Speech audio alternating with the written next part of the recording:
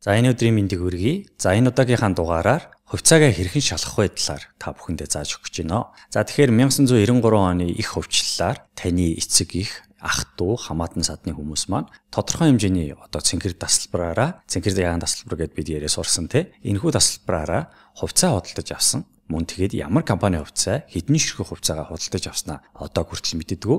За аль эсвэл хожим хойно нь та өөрөө хувь брокеринг компаниар дамжуулан хувьцаа худалдаж авсан байдаг. Ямар хувьцаа ямар брокеринг компаниар дамжуулан авснаа мэддэггүй бол та бүхэн наашаа анхаарлаа хандуулаарай.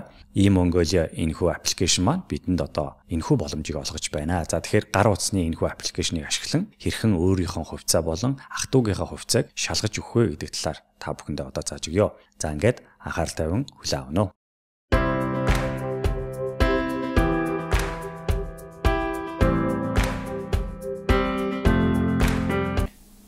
За тэгэхээр та бүхэн маань эхлээд мэдээч хэрэг ийм Mongolia аппликейшнийг суулгасан байх хэрэгтэй. За ийм Mongolia аппликейшн маань мэдээч хэрэг Android болон iPhone-ы утсан дээр бол байдаг байгаа. За тэгэхээр ийм Mongolia гэж ороод за шинжилэл буюу шинжлэх хэрэгтэй. За ийм Mongolia-гийн 2.0 одоо шинэ хөлбөр нь бол гарсан байгаа. За ингээд мэдээч хэрэг энэ дээр бол маш олон боломжууд үйлчлэгээнүүд байдаг. За бидний өнөөдрийн хувьд бол хувьцаагаа хэрхэн шалгах вэ гэдэг үйлчлэгийг авах гэж байна. За тэгэхээр бол энэ нэвтрэх гээд За нэг удаагийн код банкны ирэхээр юм уу тоон гарын үсгээр нэвтэрнэ. За миний хувьд бол нэг удаагийн кодоор нэвтрэх нь амархан байдаг болохоор ингээд оръё.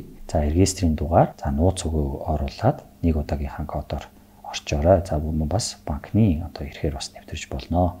За ингээд нэвтрээд орчлоо. За тэгэхээр бол таны мэдээж хэрэг зураг гарч ирнэ те.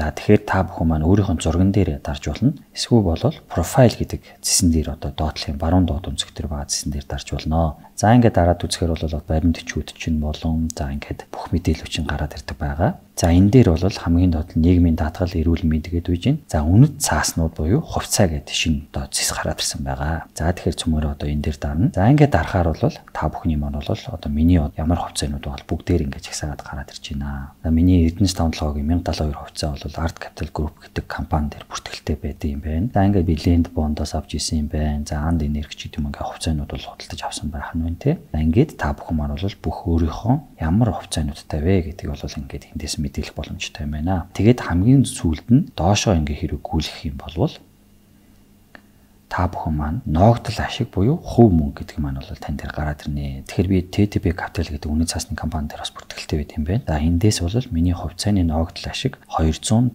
мянга 897 төгрөг би бол ногдол ашиг бол энэ компаниас өргөдлийн явуулаад аваад ингээд авчиж болох юм байна. Тэгэхээр бол та бүхэн маань бол брокерийн компаниг дамжуулан хичнээн хэмжээний ногдол ашиг авч болох. Ямар компани дээр таны одоо хувьцаанууд бүртгэлтэй байдгийг бол ингээд ийм Mongolia аппликейшнээр ороод түүхгүйхэн мэдэх боломжтой юм байна. За баярлалаа.